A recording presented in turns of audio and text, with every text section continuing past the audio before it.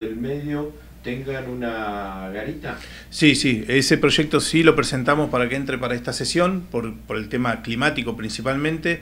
Eh, nos escribieron, nos mandaron un mail eh, los vecinos de la Junta eh, de Loma del Medio planteando esto, que ahí pasan los colectivos escolares y que no hay garita donde paran. Entonces los chicos se mojan para ir a la escuela y bueno, sabemos que viene ya la temporada invernal, que es de mucha lluvia, y vamos a presentar, eh, ya lo presentamos el proyecto, lo vamos a, plantear en, para la próxima sesión, para la primera sesión, que se haga una garita, eh, así que bueno, estamos trabajando en eso también, por supuesto.